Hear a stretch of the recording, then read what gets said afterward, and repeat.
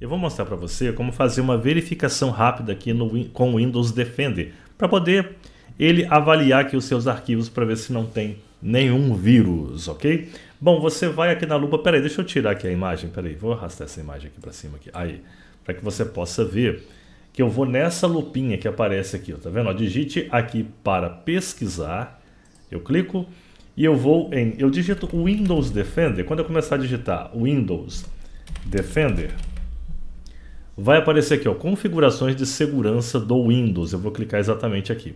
Deixa eu agora voltar com a imagem, senão vai atrapalhar a visualização. Aí, beleza.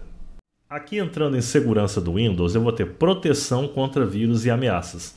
Eu vou clicar exatamente aqui em cima e veja que aqui, ameaças atuais, aqui aparecem as verificações que ele fez. A última verificação foi dia 28, aqui o horário e aqui mostra a quantidade de arquivos verificados.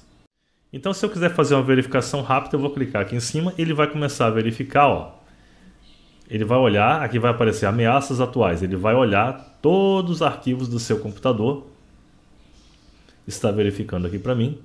Aqui o tempo restante estimado da verificação aparece aqui, mas na verdade não é bem acima, parece que 23 segundos, mas você vai ver que vai só aumentando. E ele vai fazer a verificação rápida aqui. Não demora tanto, mas demora assim um pouquinho, talvez uns 5 minutos. Vamos aguardar e quando terminar, eu volto aqui para falar com você. Então, quando termina, olha aqui, ó, proteção contra vírus e ameaça, ele manda aqui uma notificação, resultados da verificação, Windows Defender verificou o dispositivo, nenhuma ameaça encontrada. Então não aparece aqui nenhuma ameaça. No caso, se tiver alguma ameaça, ele vai mostrar o que você deve fazer, tá bom? As ações que você deve tomar. Então, muito obrigado, eu só queria mostrar isso aqui para você, tá bom? Gratidão, até o próximo vídeo.